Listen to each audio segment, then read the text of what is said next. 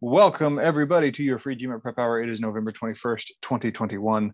I will be your host tonight through the wonderful world of the GMAT. My name is Reed Arnold, broadcasting from Oklahoma City.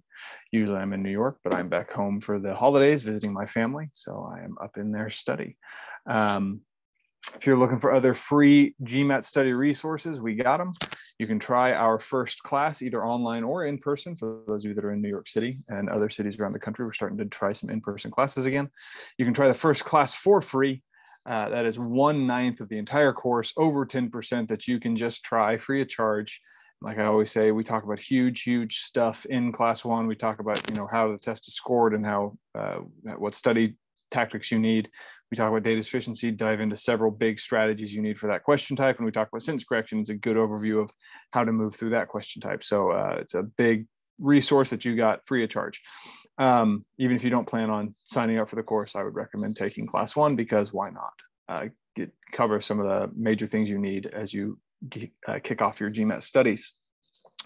Um, you can also do the same with our Interact course. That is our video course. You can try out a few classes of that for free, get a sense if you like that or not. Really nifty program, uh, kind of adapts to you as you're going through the class. You get questions right, it says, great, let's do a harder question. If you get questions wrong, it says, okay, let's look at this closer. Let's dig into the fundamentals. So it's a little bit more interactive, hence the name Interact, than your typical video course, but it's a really handy, really nifty way to study for those of you that are looking for the self-paced option. Also, uh, as of this year, we have started to offer our Foundations of Math course for free. Uh, that happens once or twice a month. It's a seven-hour workshop done either in one day or split over two days. Um, goes over the foundation foundations of quant, the most basic concepts the test uses. But the thing that's really nifty about it is we talk about those concepts in a GMAT way and so I, you know, first took that course having taught the GMAT already for several years, and I got something out of that course. So I think even if you, uh, even if you are more advanced, I think there's reasons to take that Foundations of Math course. I think there's a lot of tips and tricks there that anyone could benefit from. So uh, those are free, and if you can't make the day that the course is actually scheduled, you can get the video version of the course for free as well. So that is a free resource for everyone to have. So, uh, but today in this free GMAT prep hour, we are talking about the scoring algorithm of the test. We're going to do a deep dive into how the GMAT is scored, get you a sense of what's actually going on as far as we know, right? There's kind of a big black box in the algorithm world. Uh, it's proprietary information, so we, we don't know everything. We don't know the exact math, but we have a good sense of what's going on with the GMAT algorithm and how it's scored. Um, if you are a GMAT studier and you are using these free GMAT prep hours, by the way, if you would like to watch other recordings, we have a whole library of them on our YouTube channel. But I mentioned this last time at the end of the session. I feel like we've covered a lot. I feel like a lot of the big stuff's out there. Um, there's a few things we need to do. We need to do maybe some geometry like rectangles, triangles stuff. Um, you know they're like little topics that we could do but like when it comes to major things the things you really need to get a good score i honestly think it's all out there. So at this point i'm looking for topics. So if you have if you have anything any little topic that you want to see a free GMAT prep hour for that we have not done email me at rarnold at manhattanprep.com let me know you know what you would like to see because i've i've said a lot of what i want to say. Um and so if you have a topic shoot it my way and if it's i think a, vi- a viable topic a good topic that needs to that we could touch on i'll you know dev- design a lesson around it. Okay. Um, so just shoot me an email there. But today we're talking about the algorithm how this test is scored. Okay.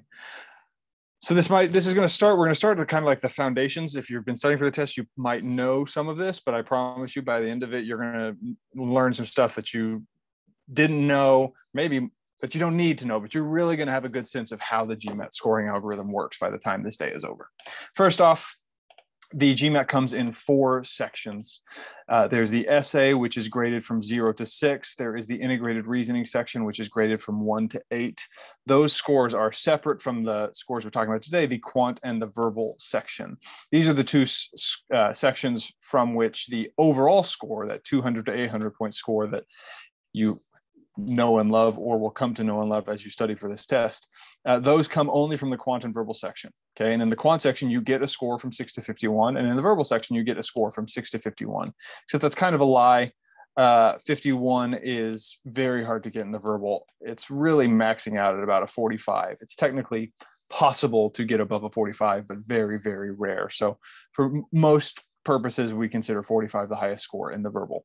And the, you know, the quant and the verbal score, it, the same numbers, uh, but they mean different things. They're, it's just it's it's not the same score. If I get a quant 48, verbal 48, well, for one, that's much stronger in the verbal because the 48 verbal is outrageous. But um, if they're the same, you know, if I get a quant 30 and a verbal 30, that's actually a stronger quant score. The way to compare your quant and your verbal is to subtract six from the quant score, and that gives you a comparable verbal score. Okay, so don't, you know, don't just directly compare the numbers to determine which one is stronger. And also don't look at the percentiles, ignore the percentiles. Okay, uh, the quant percentile is going to look deflated because there's just a lot of students get really high quant scores, you know, and it's it's business schools don't need you to get that perfect 50, but 12% of people will get a 50 or a 51. There's just a lot, and I've never gotten a 50 on an official test, you know, and I've taught this for a while. Um, and so just just know that 45 or above is a very strong quant score, but percentile wise, it's going to look sometimes you know average or something. So don't worry about the quant the sectional percentiles. They really are skewed and i don't even look at them when students take a test. I just look at the scaled score. I subtract six from the quant. I use that to compare to the verbal. Okay? Uh, and that quant and verbal score are the ones that determine your overall score from 200 to 800 and honestly it's just an addition game. They add it up and that addition that sum typically max uh, maps to a score right? So if I get a 47, 41, that adds up to an 88. That's about a 720. It might be a little less, it might be a little more. It could be a 730, it could be a 710, but it's probably going to be a 720. Okay. If I get a oh, quant 44 and a verbal 35, that adds up to a 79. So a 79 is about a 650. Could be a 640, could be a 660, probably going to be a 650. So every point on the scaled score, verbal, and every point on the scaled score in quant is worth the same. Uh, it's there's there's no point in verbal that's worth more than a point in quant. It's just literally added up. That's going to map to a score from 200 to 800. Why did they choose 200 to 800? Why did they choose 6 to 51? I, I don't know. I don't know. I've always wondered why standardized tests use the numbers they use, but these are the numbers they use. Okay. So it's literally just an addition from your quant and your verbal section. Okay. Um, we are talking, uh, I have a question in the chat about integrated reasoning scores. We are talking about the quant and the verbal scoring algorithm today. Uh, and it's a question about leaving questions blank in the IR versus the, the um, quantum verbal sections. The IR, I actually, I don't think a blank hurts as much. And I'm, I sh- should know the answer to that. I don't believe a blank answer. And, and in fact, we'll talk about how a blank answer hurts in uh, the quant and the verbal section. The thing about a blank in the quant and the verbal is that it counts as wrong. It counts as a wrong answer. Um, but if you have multiple blanks in a row, that'll hurt you, and we'll explain why. I think leaving a few IR questions blank is probably not as is, is, probably not a big deal because IR is graded a different way. And it's you can get a perfect IR score and you know miss two or three of the questions, maybe even four, and still get a perfect eight. So it's just a it's a different ball game. Okay. So these are the numbers of the test. But the thing that we really want to get we want to understand today is where those numbers come from because this test is graded very differently from the way any other test you've taken has been graded. So here's the old way a test might be graded. I want you to look at these. We have a question number. There are 30 questions on this test. Here's Samantha's test and tells you if she got a question right or wrong. And here's Karthik's uh, right or wrong column. And so I want you to just, you know, who gets the higher score, Samantha or Karthik?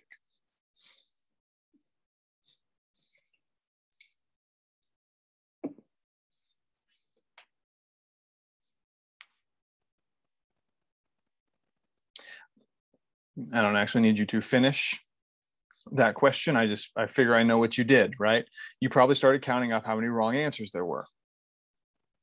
And if you did that, I don't, I don't, there's no reason to actually make you do that. If you do that, you're going to find that Samantha went 20 for 30. She missed 10 questions and Karthik went 19 for 30. He missed 11 questions. And so in the old ways of scoring a test, Samantha wins. She got more questions, right? She gets the higher score. Okay. Karthik missed one more question. So Karthik gets the lower score. Okay that's how tests have been graded all your life up till now. It's how the SAT is graded. That's how the ACT graded. That's how the LSAT is graded. You know, the stand usual way of, of grading tests is who gets more questions right. That person gets the higher score. The GMAT is different, very, very, very, very, very different. And that's what I really want people to take away from this and to understand how that difference can be used to their advantage. First off, you might know that this test adapts to you.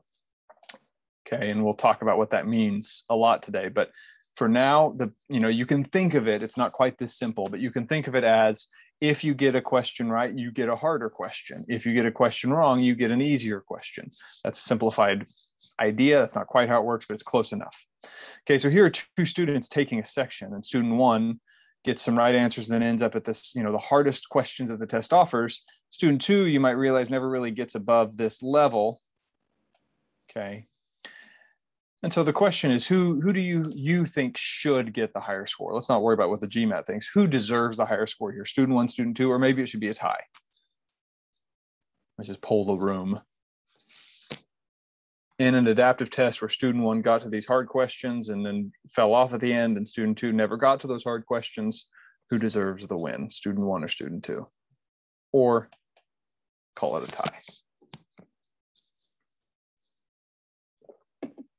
Vote for one, a vote for two.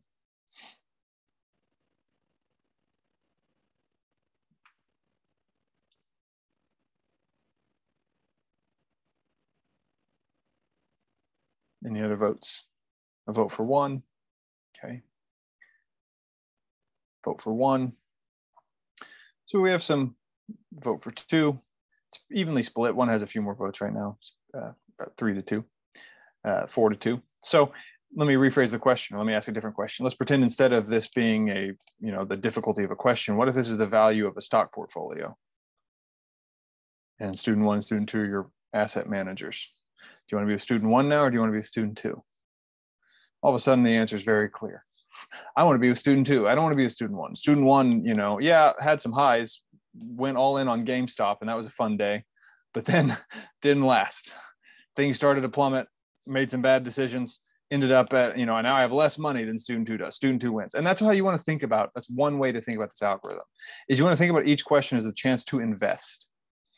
And the fact is, is that these difficult investments, they don't, you know, getting those questions, the reward from those questions isn't as rewarding as the punishment is for missing these questions. Missing easier questions is quite punitive. Okay it, your the floor of your the ceiling of your score can be thought of as determined by the easier questions you miss. And so student one likely ran out of time you know was spending a lot of time on these harder questions got some of them right. That's great good for them but then plummeted because they ran out of time and maybe some focus. And um yeah you want i mean you can think of this as an allocation of resources. Your resources are your time your energy and your knowledge well, if you expunge these two resources on these difficult investments, now you're out of resources for these easy investments and you're missing the free money. Okay. And so that's, I mean, this is a very crash, crash course introduction to how the GMAT is graded, right? It's not so much about the number of questions you get right. It's about this adaptation over time to the difficulty level that you're getting right or wrong. And yeah, student two didn't see all those really hard questions, but student two also didn't miss that many of these really easy questions and, you know, didn't miss several in a row that tanked their trajectory. And so ends up at a higher place and gets a higher score. Where you end is what you get. Okay.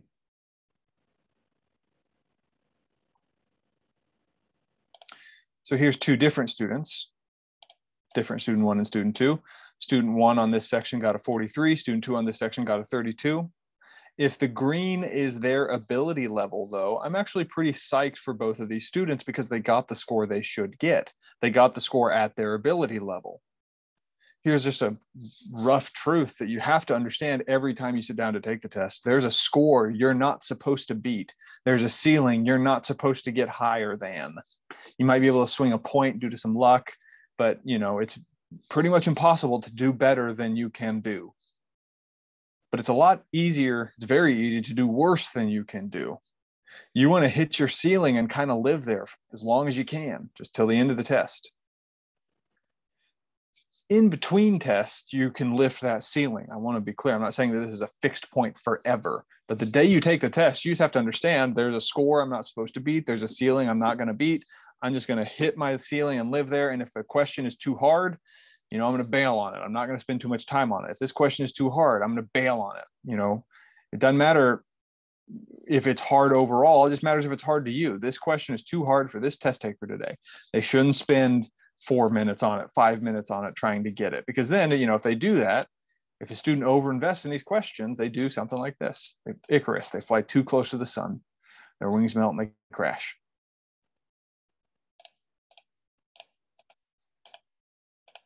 Okay.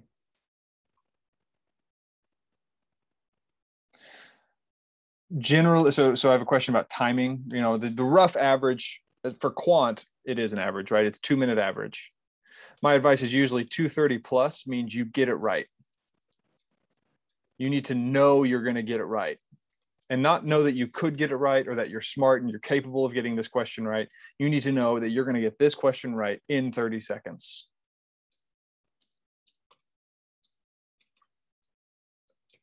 Okay. And then above 315 is just not even worth it. So you can go long on a question sometimes. It's just you have to feel confident you're going to get the thing. But notice what's happening in this in this uh, section. Both students miss about half the questions.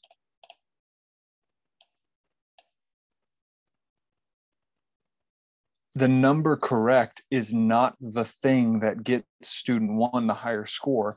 They miss similar numbers of questions. Student one's questions had a more difficult basket overall. Okay. This question here is relatively easy for student one. It's pretty hard for student two. So student one got it and stayed higher.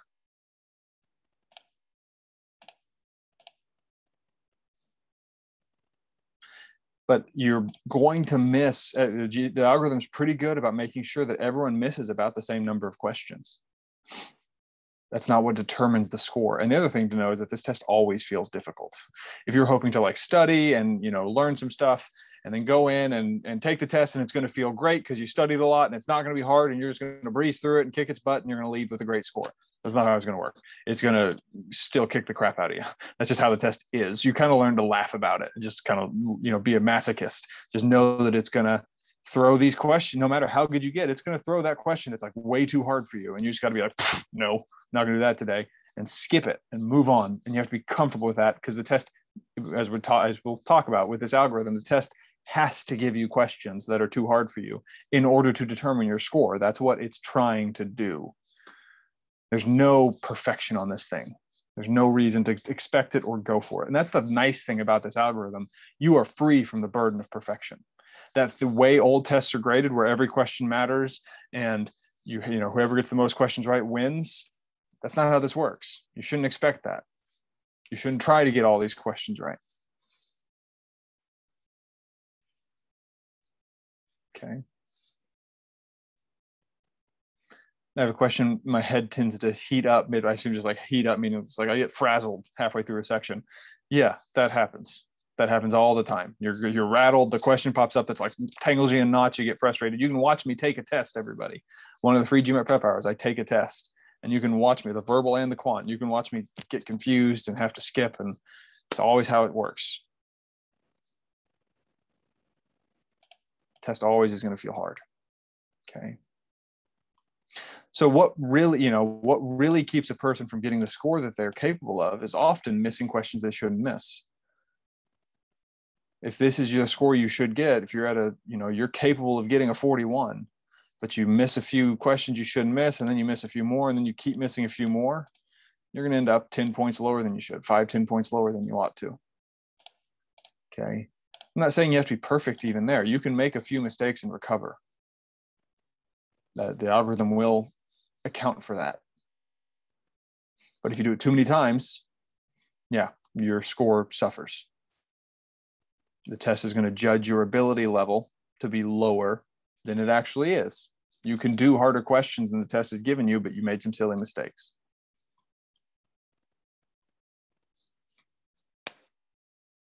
Now, of course, one of the things being tested is how how often do you make silly mistakes? So, you know, if you, if you make too many silly mistakes and you don't correct the habits, it's just going to stay. Your your ability level is not going to change.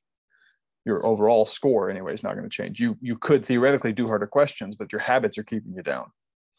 Figure out how to clean up those silly mess those those silly misses, those silly mistakes, and get your score up several points just by not missing easier questions a lot of students want to focus on the hard stuff. They want to, you know, get to the combinatorics and probability.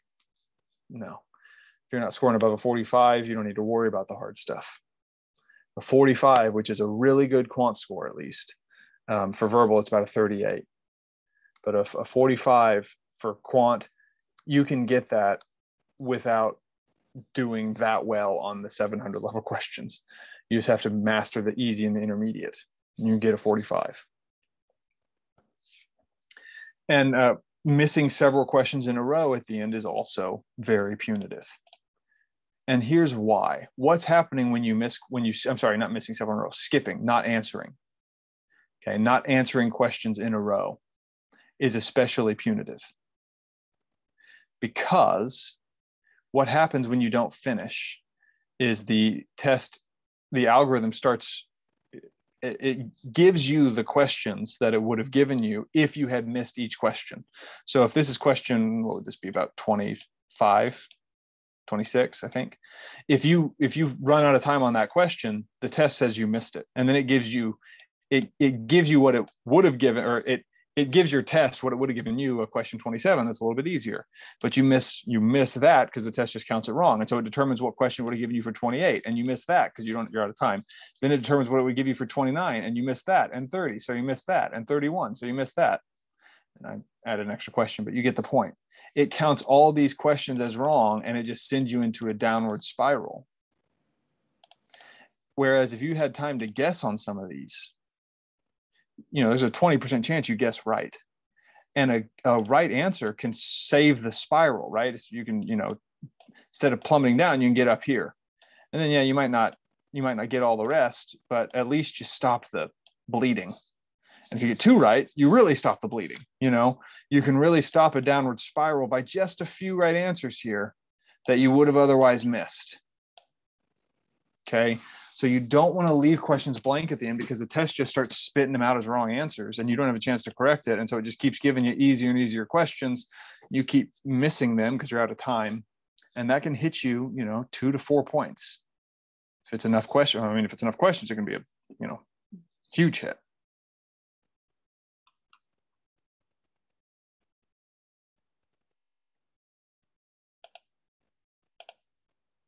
So this the way this test is graded is very different from the paper test you're used to. In the paper test, you're looking for the most right answers you can get. And the strategy would usually be to triage a little bit, to look around and find the easy questions and do those quickly, get those out of the way. And then find the hard questions and really spend your time there and focus on those. Skip them on the first pass, come back to them, spend extra time, really get those because those are going to be the differentiators often. This test is not like that. In an adaptive test like this, you're going to see uh, a better scorer doesn't get more questions right. They see a harder basket of questions at the end of the day. And that means when a question looks easy, if a question pops up and you're like, oh, this is easy, I can do this, well, do it. Slow down, get it right. Don't make a silly mistake because that's going to kneecap you. It does two things. One, it gives you a, a miss, but two, it tells the test that you miss questions of that difficulty. And so the test adapts downward and you do it too often, the test is adapted downward so much that it's just not going to adapt upward again. If a question looks hard, I'm not saying you skip it immediately, poke at it a little bit, see if you can figure anything out, but get ready to bail. Get ready to, do- to just burn it and not deal with it. And again, you're going to do that on the, you know, you're going to miss 12 questions of the 31 in quant, 12 to 15. So that's a third to half. That's a lot of questions that you can just be like, I don't need to worry about this and that's what i'm saying. It's hugely liberating when you get to this phase where you're just like oh, this question pops up looks like hell. I don't want to do it. I'm skipping it. That's great. And you just know that's going to happen and you feel good about it. It's not a failure at that point. In verbal, you know, it's it's about 12 as well, 12 to 16 or 17.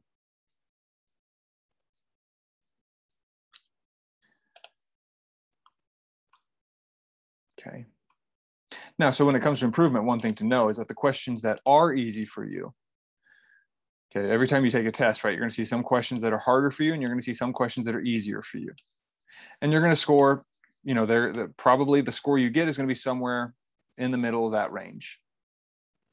That's the score the test decides is your ability level. It kind of gets a sense that these questions are too hard and these questions are too easy. Okay. Your goal as you study is to move this range up. Now, what does it mean to move that range up? Well, that means not just that you, you know, get harder questions. It means that the questions that are hard for you, not only do you get them, they start to be easy. It's not just that you're getting these questions right, or you know, you're getting more of these questions right. It's that they actually are easier for you. And these questions that were basically impossible for you are hard until eventually they are also easy. And these questions that you never even thought you would see are hard for you, but you get a few of them. You know, you have to think of the the study this, think of your studies this way, and notice like the things that are easy for you, you actually don't get to do anymore. That's what I love about this test. If you get really good at something, you actually don't even get to show it off on the test because it just knows that's too easy for for them today. I'm not going to give them that question you know they stop seeing these difficulty and then you stop seeing these difficulty and then you stop seeing these difficulty you just master out of that difficulty range more or less. You might see one or two but that's what improvement looks like. And so to really get a gut feeling for how this scoring algorithm works we're going to do a, a we're going to use a metaphor an a, a, metaphor for the algorithm that i am uh, stealing from kaylee erickson who used to teach for manhattan prep Kaylee, if you ever watched this, I've used this many times. It's a great metaphor for this test. Really gets you a kind of an intuitive feel for what's going on on the test. And I think helps drive home why wrong answers aren't really the game and lets you feel better about missing questions. Because that's one thing I want today is I want you to leave feeling better about missing questions on this test. Okay. So the metaphor for this for the score is we're going to pretend that you're trying to figure out how far I can throw a football. But here's the game you don't get to watch me throw the football. Instead, what you do is you can tell a, there's a computer and you can set a, a distance, a target at a certain distance for, for me to aim at. And a computer will tell you, you don't get to watch, a computer tells you if I hit the target or if I miss the target. It doesn't tell you if it was, you know, in the middle of the target or at the very edge. It doesn't tell you you know if if if i had to really struggle to do it or if it was pretty easy for me it just tells you hit it or not.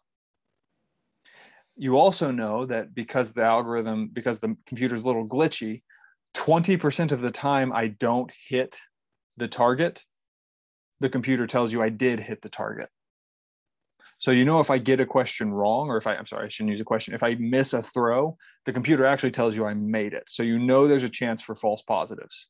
That's to represent the 20, you know, it's five answer choices. You have a 20% chance just blind guessing on the test. So that's to fit that in here. Okay, so what you can do is you can set a distance. Uh, there's a target set. I throw, and a computer tells you if I hit the target or not. If I don't, 20% of the time it tells you I did. That's the rough idea and you're trying to figure out at what distance do I go from likely to get the target to likely to miss?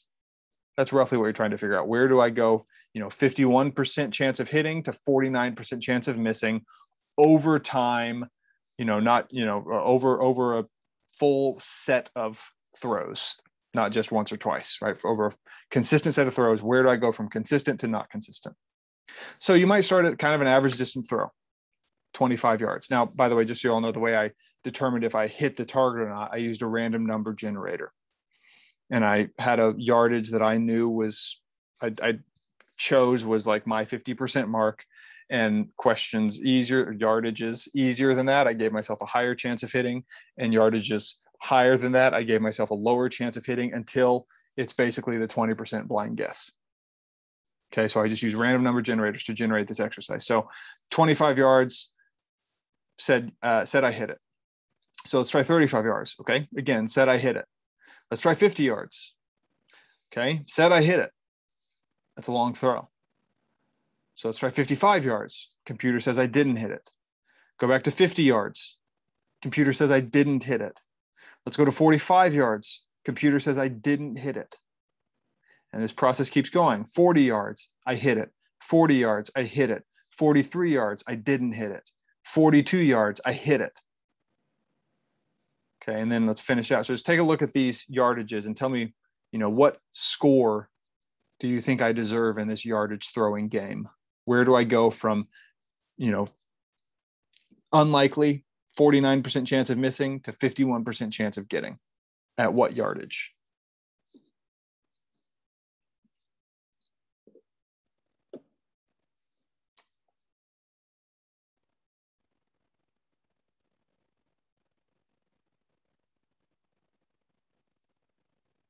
Yeah, 43. That was the yardage I picked ahead of time as my ability level for this game. I gave that a 50% chance. And just a reminder, this is a metaphor. The yardages, I'm not, a, I'm not a computer. I, I'm not using the exact GMAT algorithm. This is just to show you how this style of algorithm determines a score. Okay. So notice that that 50 yarder right there, it said I hit it. That was lucky. The random number generator said that I got a question right that was a lucky guess. It was a 20% chance and I got it. Okay. So it gave me some a hard throw and I missed it. And it gave me another 50. And that time I missed it. And then it gave me 45. And I gave myself like a 33% chance of that and I missed it. Okay. Yeah, 43 yards consistently would be pretty good, pretty solid quarterback. Okay. Um, so notice there were, you know, there was a lucky guess that happened early, but then the it, it, made the adaptation, right? Okay, figured out that was probably a lucky guess. It gave me another 50, it gave me a 45. I missed a 43, I missed a 43. I got some 43s. I missed a 44, I missed another 44. I got a 44, but I missed a 44 and I missed a 44. So I figured that 50 was probably a lucky guess. And it ended up right at the ability that I chose. This is again a random number generator that I just uh, used after I picked the ability level. Okay, and so here's just so you know, I'm not going to show you this for every time we do, do this exercise, but here was what I, you know, decided, and this is totally not real. It's just what I decided for the game that this was the, you know, the um, average thrower's probability of probability of success at a certain yardage, and what my probability of success was as someone who has an ability of 43. You know, 25 yard throw, I have a very good chance of getting that right. I gave myself 98% chance of getting that yardage right. And most people, the average person is 75%, but I had a really good chance of getting it. And I did, you know, that had a low chance of missing. 35, still a pretty good chance, 91%. Got that one. Cool. 50 yards, 20%, blind guessing. Got it though. Happened to get a good guess. Okay, great. Another 55, that's blind guessing. Didn't get it. Uh, 50 yards, I gave myself another 20% missed it. So then it gave me 45. And I gave myself a little bit higher than guessing rates on 45. You know, if you throw 43, sometimes you can throw a little farther accurately. So I gave myself a little better odds, but it didn't work out. I missed that question. 40, I gave myself 67% odds. Two out of three times I'm going to hit it. Okay, so I got it, got it. 43 was at that 50% mark. So here's that 50% mark. Missed it. 42, I gave myself 60%, got it. And so I started to dance between 42, 43, 44, and ended up at about the 43, which makes sense. So notice a few things. The algorithm, and again, this is not the way the GMAT algorithm actually will look, it's just a style of this algorithm. Notice how at first, when I didn't know, and I mean, of course, I knew because I picked the yardage, but when the algorithm didn't know how far uh, I could throw consistently, it was making pretty big jumps 25, 35, 50, 55, 45, 40, 43, right? We were going by fives and tens and threes. But as it narrowed down towards the end, it had a pretty good sense of where I was and it started to just move up and down one by one 43, 42, 43, 44. Okay, it had narrowed in on where my ability level was. And I stayed consistent there. So the algorithm stayed there. Okay, let's look at a different, here's a different simulation. Okay, and I'm just, just giving you the whole thing. So take a look at this and what do you think this person's score or this person's ability level is?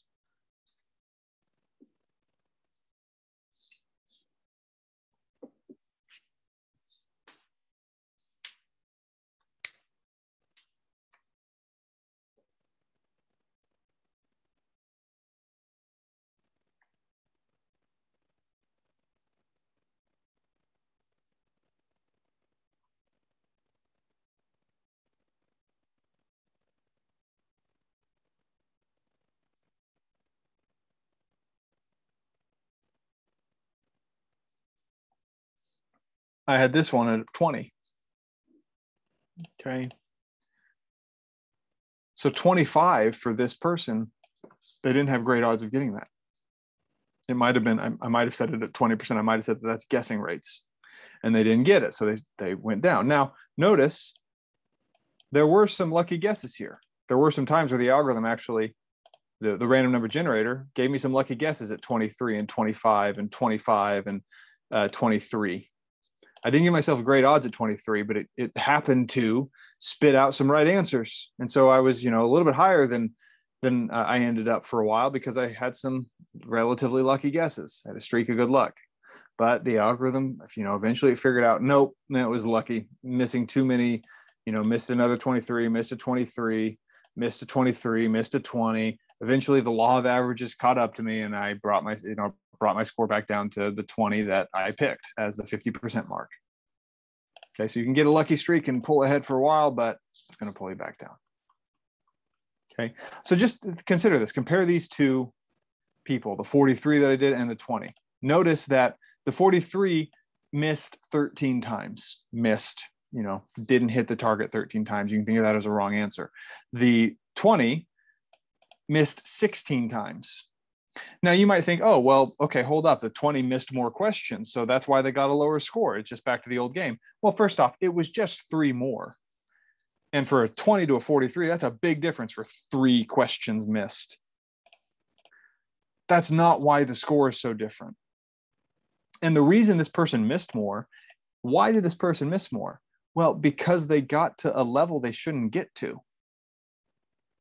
and they continued to stay there with some lucky guesses. So there were a few, you know, there were more harder questions for this person, all these 23s, all these 25s, 26s, this 30, this 27. This person had a lot harder package for them, a harder basket of questions because they had some lucky guesses that early inflated their score. And so, yeah, they missed more, but that's not why their score is lower. Okay. They missed more because they got a little bit inflated early and that gave them more chances to miss. But that's not why their score is lower. Okay. Now take a look at this one. So the game on this one is that let's pretend that this person is doing the game, and for some reason in this stretch, the algorithm glitches. Doesn't do so well. It just keeps spitting out 50s for some reason. They keep, you know, a lot of missing at 50, but the algorithm just keeps wanting to give them 50 yards. Throw 50, throw 50, throw 50 and the I'm throwing it. I, I can't. Every now and then, it, you know, a lucky guess. I get a lucky yes. Where would this person score? Do you think? After the algorithm then corrects, and it's like, oh, I've given too many 50s. What score does this person get?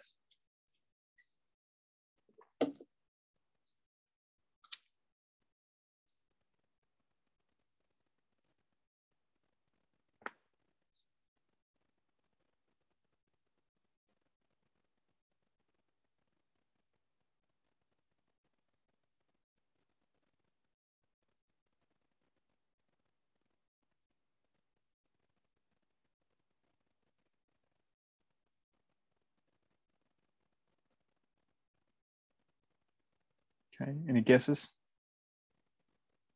43, that's a fair guess. 45, I probably, I mean, I, I think I chose a 44, if I remember right. Yeah. So I gave the score 44. The ability I gave this person was a 43, but they happened to get a few kind of lucky answers here at the end at, at 44.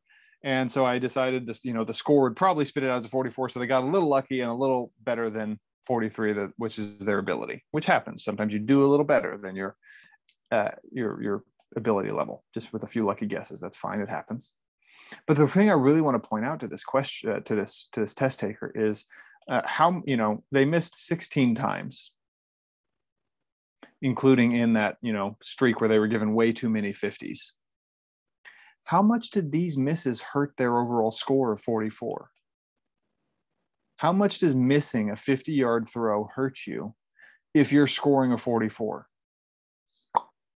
It doesn't hurt you at all. You're supposed to miss those. If you're scoring a 44, you are supposed to miss 50 yard throws. There's no reason. And you know, what if you try to throw it 50 yards and you throw your arm out? This is again a metaphor, right? You throw your arm out and then you can't throw it 42 yards when you should be able to. That's the same idea as if you run out of time, you're using all your time on these harder questions, and then you can't do the easier questions you're well capable of. There's no reason to worry about missing these. That's not my ability. And it doesn't affect my score at the end of the day. Missing 16 times doesn't really affect my score. Okay. It's not about the number right or wrong. That's not how your score is determined. And again, this is not the perfect simulation of the GMAT algorithm, but it's a similar style game.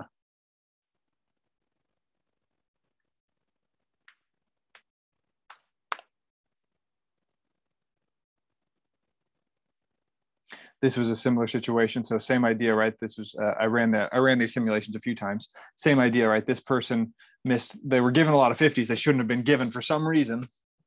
The algorithm messed up. Then it corrected and it lowered down. This person ended up, yeah, 38, 39 ish. But the thing that was interesting about this that I want to point out is that if I remember right, this was bad luck. Let me see if this was bad luck. 18 misses. No, this was silly mistakes. Excuse me. So uh, yeah, so this wasn't just bad luck. What I did here is on these questions, 40, this 42, this 40, and this 30, 38, the algorithm, I'm sorry, the random number generator said that I got this question right. I just picked these three questions randomly as I was doing this. And so uh, I determined, you know, just to simulate this, at this question, I said if it if if I get this yardage, if the random number generator says I get it, I'm going to say I missed it because of a silly mistake. It's one that I should get and I screw the pooch and mess it up.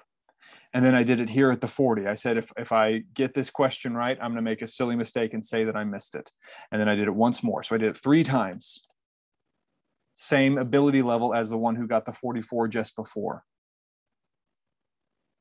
And notice what that did to the score. Right now, I'm four points too low because of three silly mistakes that knocked me down into a lower score range if I'd gotten this 40, like the random number generator said that I would, I would have stayed in the 40s. I would have gone back up to 41, got another chance at 41. I wouldn't have dropped down to 35 and 38. If I'd gotten this 38, I would have jumped up to a 39 40 instead of have to, you know, go stay at 38.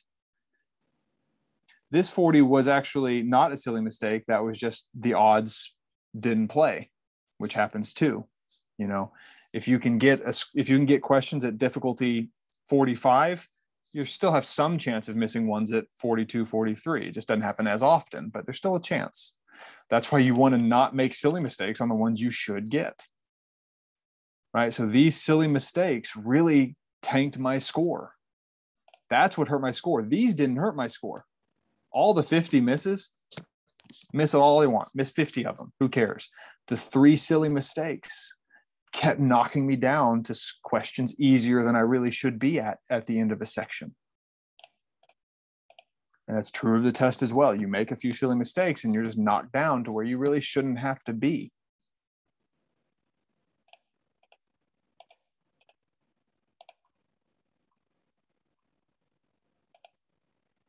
Okay. Here's another simulation. And this one I didn't have, this one the algorithm didn't mess up. There's no spitting 50s at me for several times in a row. What score would you give this person?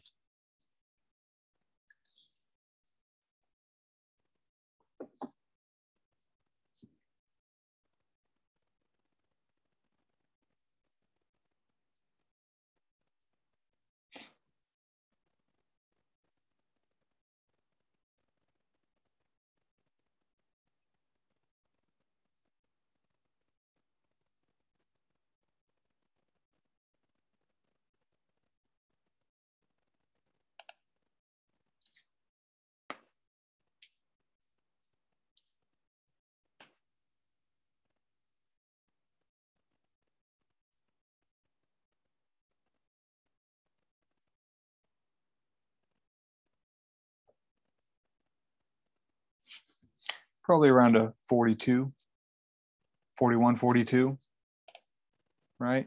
But I want to point out, I think, what did I get him? So his ability was a 43. Their ability was the same as the 43s we've seen before. That's the cutoff. That should be the 50% mark. I ended up at a 42, but that's because I gave myself four silly mistakes early in the section. But notice that you have a chance to recover from this right? I made a silly mistake. And again, what it meant by silly mistake was the random number generator said I should get that question right. It said got it correct. And I just said, I just discounted that and said, nope, missed it. And I did it four times. Question one, question like four or five, question eight, and question 12, whatever it was. And so, yeah, when I missed question one, I got down here in the easy questions, but I got all those and I got, you know, recovered quickly. And then I missed 35 and I shouldn't have missed it. Uh, so it went down, but then I, and I missed 37 and I shouldn't have missed it. But then in the back half, I performed well. Got my 37, got my 38, got my 39, got my 40, got my 43, got my 45, missed a 50 because it's 20% chance. Okay. Ended up in the low 40s. So a few silly mistakes early, you can prove over time to the test, like, ah, I shouldn't have missed those. That was silly. And the algorithm will correct upwards for you. So you might wonder, like, oh, well, then shouldn't I just, maybe I should just miss some early. you know, maybe I should just give myself a few easy, intentionally miss some so that I'm getting easy questions and, you know, it, then I can recover at the end. Well, you don't want to do that either because here's what also happened when I ran this simulation. Same silly mistakes. I, I kept the beginning here and operated after that. But what happened to this student? Okay, same silly mistakes up front. Same ability level, but ended up at a 39, four points lower than they should, because at this point, after the silly mistakes that I intentionally said were wrong, then the I just had bad luck. And it was not intentional. It was just I gave myself 70% chance at 39 and I missed a 39 and I missed a 39. I got a few. And I gave myself a 66% chance at 40, but I missed a 40 and I missed another 40 and I missed another 39 and I missed another 40. And so it was just like bad luck. Oops, you know, had pretty good odds on this difficulty, but for some reason, maybe these are topics I'm not as strong at. Again, this is a metaphor. You know, maybe these are my weaker topics at, you know, slightly easier difficulty than my score should be, but I miss them and I end up at a, you know, end up at a 39 when my ability is a 43. So you don't want to intentionally kneecap yourself. Uh, but you can also recover from a few silly mistakes early. And that's true of the algorithm. There's a myth out there that, you know, the first seven questions, they determine your whole thing. Not really. That's a, that's a kind of a, a it's a nuanced myth. We'll talk about why it's a myth and, and, what's really going on. So just some interesting comparisons. Use, you know, if we think about this algorithm and how this test is graded, how this football score was graded, right? Here are two scores, a 44 and a 39. 44 is better. Only two misses left. Uh, only two more misses for the 39, not a lot. Same ability, same test taker, quote unquote. But because of the algorithms, you know, the, the luck of the draw in the algorithm, I ended up with a different score. So you can you don't have you're not going to get the same score every time, even if you're capable of it. There's a range of probabilities that you can end up at. The test is making its best guess for where you are. Sometimes you might be a little better, sometimes you might be a little worse. Okay, here are two identical scores using this algorithm style, 239s, seven more questions missed here. It's not the number of questions missed that determine the 39 this is one where it gave me the you know all these 50s who cares? Miss all the 50s you want. Same score. Okay? Same number missed slightly different scores. 11 failures three points higher for the 42 here's a fun one five more questions missed higher score and again this is not an exact replica of the gmat algorithm this was one where the 50s were spitting out too much. But point is, it's not the number missed. It's not how many times you miss a question that determines the score you get. It's not really the game. Now, the GMAT is much more algorithmic. It's much better at making sure everyone misses about the same number. I was just kind of winging it here. But you can end up with very different results uh, with very different, uh, with, with very similar number missed. Okay, here's a 44 and 20, 16 failures each. You, you grade a test this way and you get, you know, wildly different outcomes with similar numbers missed. Here's a simulation. So let's, so that's the, that's the gist of how this works. Let's do talk about, okay, that's how the test works for determining your score. But what if, you know, you can't do higher than 51, 51 yards and let's say I'm, you know, really consistent at 51. Notice this test taker only missed six. What score do they get? Well, they get a 51. Why do they get a 51? Well, they have a 75% chance of getting 51 yards. This is a very good thrower. And so they get a bunch of 51s. They only miss six at the end of the day. Okay. Now, does that mean that the algorithm switches to counting how many you get wrong? Kind of, but kind of not. It's really just that this person beats the algorithm. This person just doesn't give the algorithm enough chances to miss. The algorithm doesn't have hard enough yardages to, to give this person. If it did, it would. If, if, if the algorithm had higher yardages to give, it would do that and the game would be the same as ever. It's just that this person is better than the max of the algorithm. And so that's what happens when you get to those higher scores. You do end up missing fewer questions. So it does look like fewer questions gets a higher score, fewer misses gets a higher score. But the reason the person is missing fewer questions is because they're actually better than the test is. They've beaten the test. Good for them. It doesn't really change your strategy. You're still getting the questions you're capable of getting and not making silly mistakes, you know, as, as few as you can. This was a 50, this was a, someone who had an ability of 51 who had a, a bad day, missed some questions similar as we saw before, right? Just had some times where probably should have gotten the question right, but missed it. You know, the odds were in their favor, but you know, they just missed a few and they ended up at a 49 when they really had the capability of a 51. That happens. Okay, I didn't do any silly mistakes here. It's just the odds were not in your favor, and that's going to happen. Sometimes you can not make silly mistakes, but it's just topics are not your strength, and you don't get the score you're really capable of. Here was someone who uh, had a 51 and got a 51, missed 11 questions, and their their ability was actually a 51. That's their 50% mark. So notice they missed more than the six we saw before. We had someone who missed six, and someone who missed 11, well, they both get the same score because the person who missed six is really should score higher than a 51. There's not a higher score to get. So they get a 51. Uh, this person missed 11 because 51 is their score. That's their 50% mark. And so they ended up at their 50% mark, which is what the test is basically trying to do. Figure out where you go from likely to get to likely to miss. So just that's, we're done with that simulation, but that's just to really get an intuitive feeling for what's going on in this algorithm and how it's not just counting up, okay, rights and wrongs and subtract the wrongs and that's your score. It's giving you easy questions and harder questions and easier yardages and harder yardages and trying to figure out where you are consistent over time. And your performance, you know, every time you perform, it gets more data to figure out where that point is. And it hones in narrower and narrower as it gets more data on you as a test taker. Okay, so just some, some close enough approximations for how this algorithm works. Number correct is not the game. Everyone misses about the same number on a question, most everyone, except for those people who've beaten the game and they're scoring, you know, they're just beating the algorithm. No question is weighted more than others. Every question is worth the same. Early questions do not matter more. Once the basket is in place, every question is weighted the exact same. It's close enough approximation to say that the ceiling of your score is determined by the easier questions you miss, and the floor of your score is determined by the harder questions you get right, the harder questions you earn.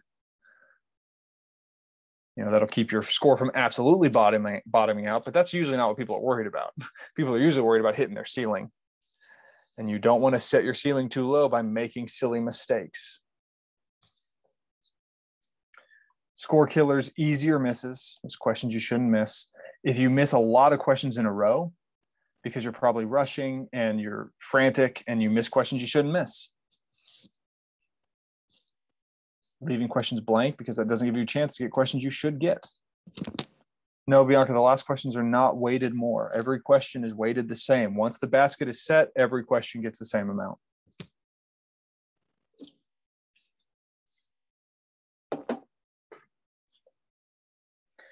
again, it's close enough. It's not exactly accurate, but it's close enough to say that when you get a question right, you get a harder question, and you get a question wrong, you get an easier question. That's hard. that's close enough to say it's not exactly right, but it's how you can think of it. The score does get lower if you miss the last questions, Bianca, but that's not because the last questions are weighted more. It's just because you're missing questions. Your score gets lower if you miss questions early too you just have a chance to recover. That is a that is the bummer about the you know if you make silly questions misses at the end, there's no chance to recover from them and show like no no those were silly. But that doesn't mean the scores themselves are weighted more. And it's also important to know that there's luck in play. Some days are better than others. You know, you get score you get questions that play to your strengths or that play to your weaknesses. You know, just using the algorithm I showed you a few times where you know the score was lower than the ability level and that was just the odds. It wasn't that was just pure math. The odds weren't they didn't happen that time you know. Difficulties that should have been 70% correct were actually like 50% correct and so the score was lower than it should have been. That just happens. Now some nuance to those generalities as we said before, at higher, when you're scoring higher, there's no harder questions to give. So it starts to look like the number correct matters. But that's really just because they've beaten the game. Early questions do set a trajectory. You know, if you make five silly mistakes in the first 10 questions, yeah, the test has you on a trajectory for a lower score.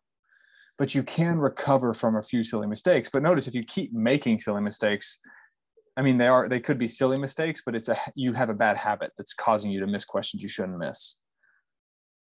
And part of the test is how often do you miss questions you shouldn't miss.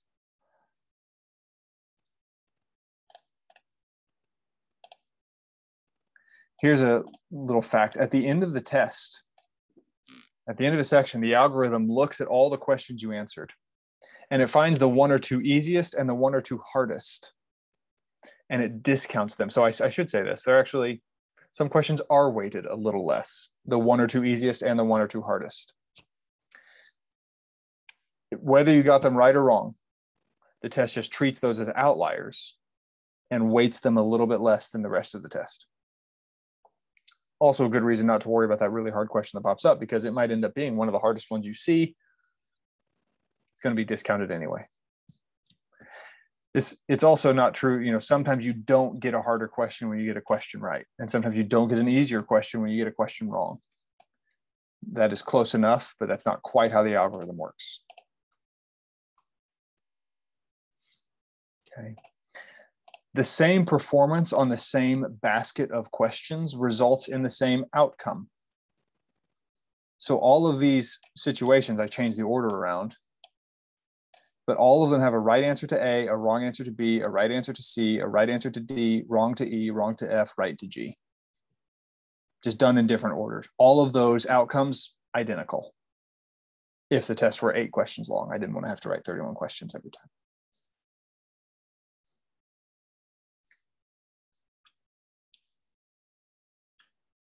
So once the section is over, every question again, except for the one or two easiest, is weighted the same the same performance on the same questions results in the same score. The question is, do you, you know, do you get the same questions? Right? Because each question you get next is determined by the performance on the questions you've already seen.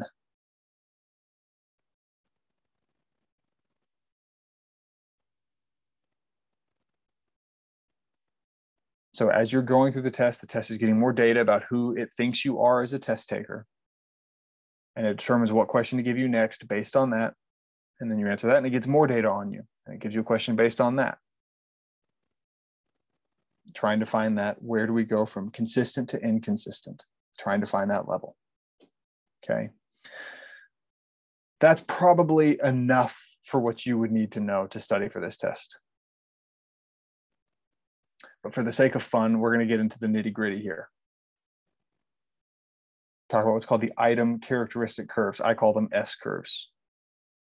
Every question on the test has an item characteristic curve or an S curve. Before we introduce the S curve though, let me show you what the perfect GMAT question would look like if it existed. Every GMAT question wants to discriminate a tester into above or below a certain score. Okay. If we could make the perfect GMAT question, it would look like this. And everyone scoring below a certain score had a 20% chance of getting that question right because it's blind guessing. And everyone at that score or above would get 100% right. They're guaranteed to get it. So if I give this question and this person gets it right, I am 100% certain that they should score above a 38. I guess it's not quite right, but I'm pretty sure they should be above a 38 because there's a 20% chance that they should be, that they actually just got lucky you know so it's not exactly right but basically it's you know if if this perfect if this question is perfect and someone gets it right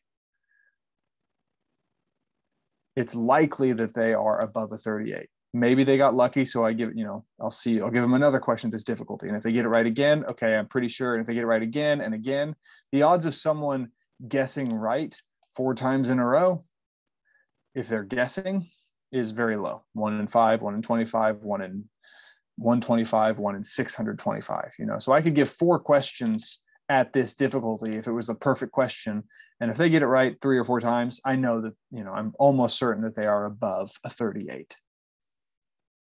But of course, no question like this exists. There's nothing that perfect. What happens instead is an S curve. And so every question has this S curve. And so, yeah, if you're scoring, if, if the question is meant to discriminate around a 38, if you're scoring an eight or a nine, it's basically 20% chance you're guessing. But as people get better, they get a slightly better chance of getting this question right until, you know, the, 50, the 38 score is about 50% chance of getting this question right and then you know they start to get 95 99% chance of getting this question right. No it's you know someone makes a silly mistake at some point always. So there's always a slight chance of missing. And never quite gets to 100 but basically people who score above a 38 are very likely to get this right. And people who score a lot less than a 38 are very likely to get this wrong. And every question on the test has a curve like this. It's called the item characteristic curve. Okay? The steeper that line the better that question is at discriminating a certain score. If it's a flat line like this, that's you know not as useful. If it's a medium steep line, or if it's a you know if it's a if I can get a I'm sorry this is medium so flat, medium, steep, and then if it's really steep, that's a useful question. That's a really good question that you know tells me if I'm over here or over here, if I answer right or wrong, where I probably am on that curve.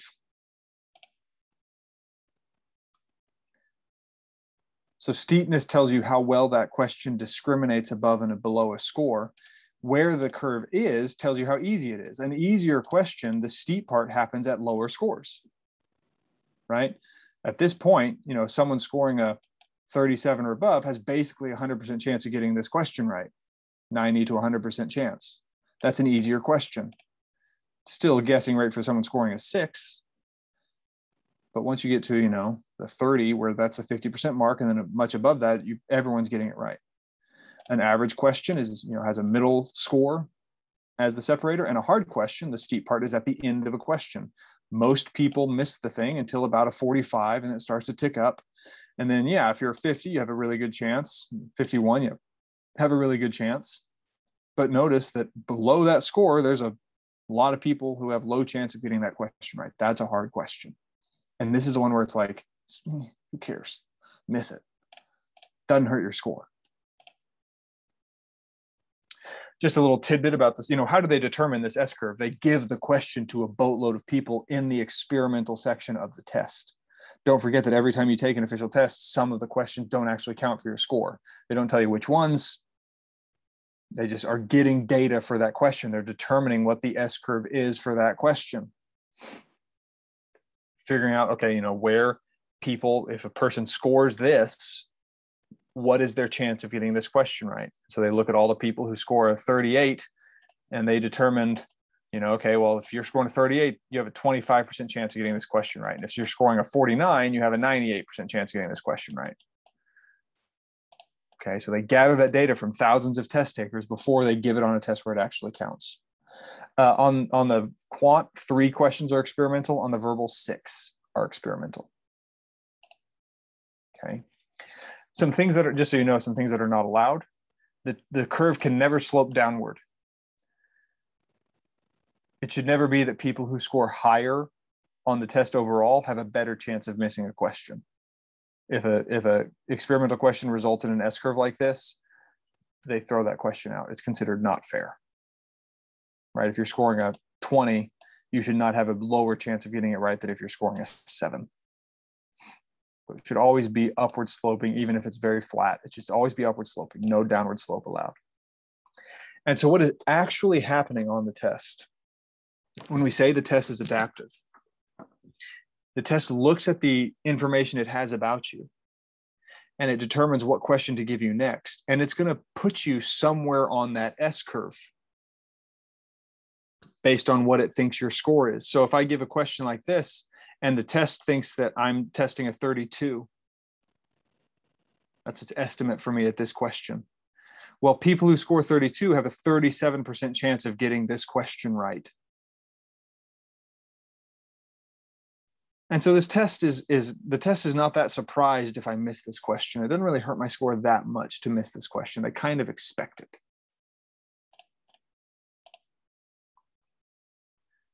Conversely, if the test thinks I'm scoring a 45, it puts me at this location on this S curve. It says I have a 90% chance of getting this question right. Again, I'm just making up these numbers. So the test really thinks I'm going to get this question right because people who are at my estimated score tend to get this question right. If I don't, that dings my score a little bit more. The test is surprised. Well, hold up. People who score 45, you know, 90% of them get this question right. Either I'm, you know, it's bad luck, I'm in the 10% that miss it and I still get a 45, or more likely, I shouldn't get a 45. So it drops my score down a little bit. It just adds that data point to the set. And it does this again and again and again.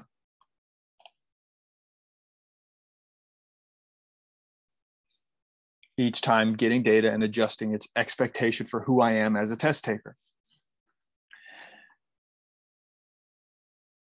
Now, if this is the S curve of a question and this is the chance of getting it right, I can make the inverse S curve, which is the chance of getting it wrong, which is just the you know, adding to 100 from the chance of getting it right. So from 20, I go to 80. Here at the 50, it's about 50, you know, 40 and 60. And that gets me the, what's it, what's it, what we call the inverse S curve, which is the chance of getting it wrong at each score. So that will look like this. And what's happening at the end of the day, what the test does is it takes all the S curves of my right answers and all the inverse S curves of my wrong answers. And it combines them together and it gives me an estimated score based on that data. This is just three questions because again, I didn't want to draw 31. But it just it synthesizes all this data from here are the ones we got right, here's the ones we got wrong, it we say multiplies them together, but that's an abstract form of multiplication. It's not like arithmetic multiplication. It multiplies them together into an expected score.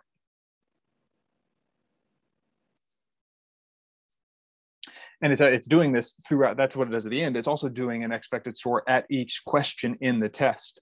At each question in the test, the algorithm has a bell curve for what it thinks my score is you know, it, it's pretty sure my score is at the highest peak of this bell curve. And what the test does, and this is again, this is like six and seven, and over here is 49 and 50, 51. And right now the test thinks I'm a 38. You know, it's pretty sure I'm a 38. There's a chance I'm here. There's a chance I'm a little bit, you know, a little bit more, a little bit less. Probably not a 51, probably not a six right? It's pretty sure I'm around a 38. So what it wants to do is give me a, a question that discriminates at about that score. It tries to find a question whose S curve fits right in that range to help determine, okay, should I be a little bit more than a 38 or a little less than a 38? Am I actually a 38 or am I a little bit more or less? If a question is much easier, the, the test expects me to get it right. If I miss it, it gives it a pretty significant ding because it's it expects me to get this right. That S curve is easier than the score I'm at. Conversely, if an S curve, here's the inverse S curve of that, right? It's I shouldn't miss this. But if it's an S curve that's a little bit more than my score, the test is not that surprised. It doesn't ding my score that much to miss that question. Ideally, it wants to give me one right there in the middle. So what's happening as the test goes on? Question one pops up. Here's the S curve for question one. I get it right the test then makes a, an estimation. It's a very flat bell curve because they don't have a lot of data yet. They make an estimation. They say, okay, well, probably this is the score. Let's say it's a, a 40. And the first question they give is about an average difficulty question, right? It's meant to separate kind of right in the middle of the section. And so I get it right, and the test gives me a four, it, it expects me to be a 40. Okay. Then they give me question two, a little bit harder right? S curve's a little bit further right. Uh, again, I'm not an artist. This kind of looks gross, but uh, it's a little bit further right. And let's say I also get that question right. So then the test makes an adjustment. It makes a new, a new range. And notice it's a little bit squished. It's a, like the hot, the peak is a little bit more certain. We go from this height to this height because it's a little more certain that I'm there because it has two pieces of data now. And because I got the question right, it's moved the score to the right. So now I'm here. And here's question three, trying to discriminate at that score. And I miss question three. So the score is going to move a little bit to the left, but again, get a little bit higher. And I might not have drawn that right, but pretend that that, that hump is a little bit higher because it has a little more data than it did before. Yeah, definitely lower. Make this, do a quick in, in class edit. Let's put this just a little bit higher. So it's a little bit higher than it is at, at the second question. And it moves that hump to there. Okay, but then let's say I miss question four. I'm going to not draw the S curves anymore. So it moves the hump to here.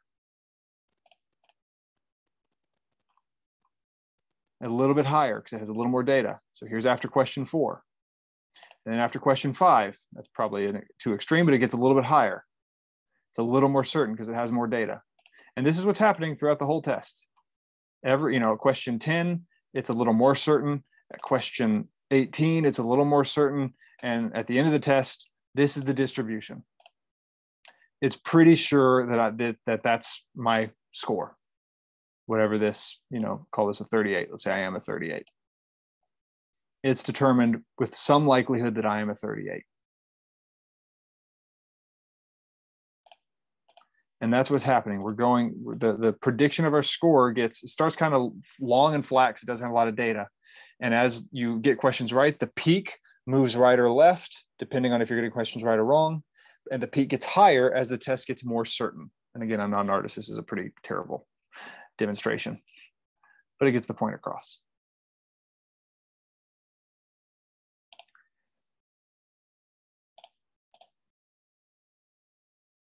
And so note that this is the test's best guess, you know, based on the data of that day. But as we've already seen, there is some luck in play. And in fact, the standard deviation of the 200 to 800 point score is 30. What that means is there's a basically a 67% chance that you're plus or minus that you're within 30 points of your actual score of what your actual ability is. You know, so if your actual ability is a 620 and you end up getting a 640 okay it's a little bit higher but that's within the the expected range right? Plus or minus 30 but notice that that is only 67% right? It's actually not unlikely that you get a score more than 30 above what uh, that you that your your actual ability is more than 30 than what the test gave or less than 30 than what the test gave. So whenever students come and i was like ah why did my score drop 30 points?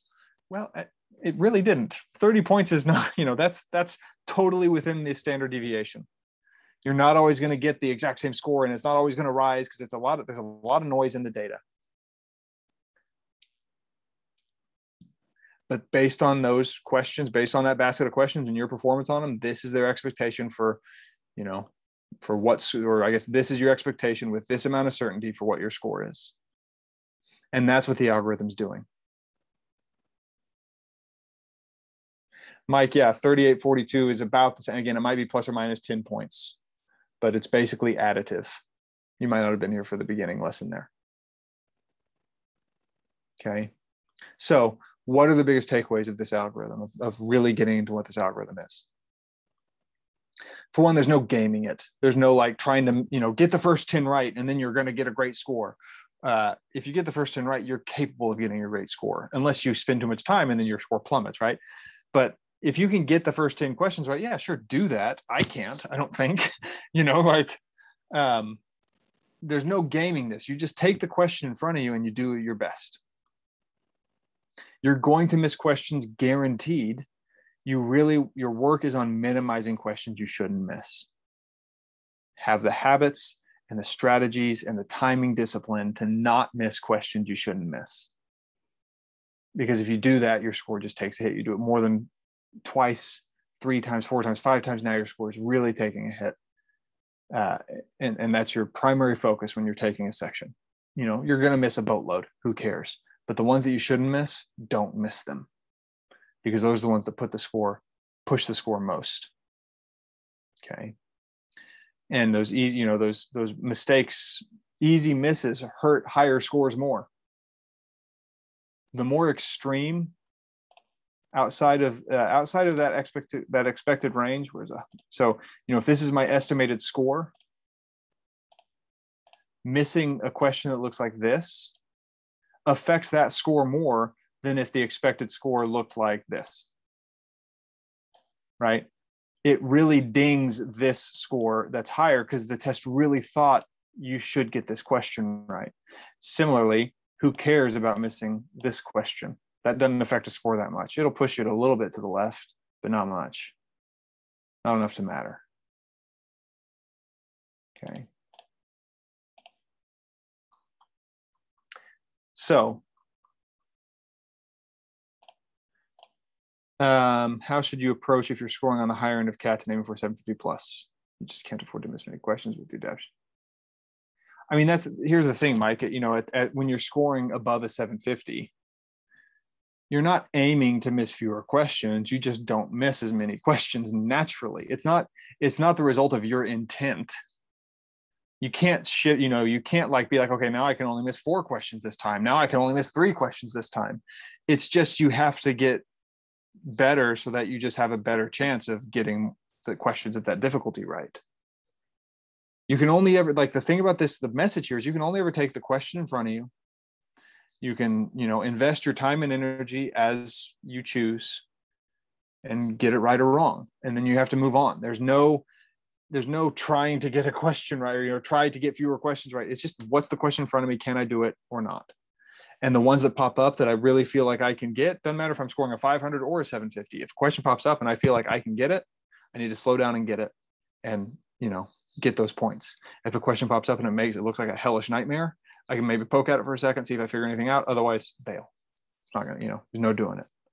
You can't will yourself to do a question that you otherwise couldn't do. It's not how it works. Okay. Paul has, you know, is there any like topic of question that the algorithm skews difficult? I think the answer to that question, for all intents and purposes, Paul, is no. For every topic, they have questions that are easy, medium, and difficult.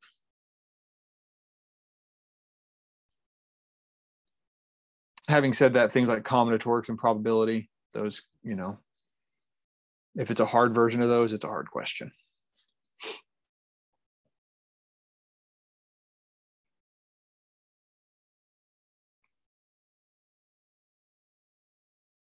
Okay.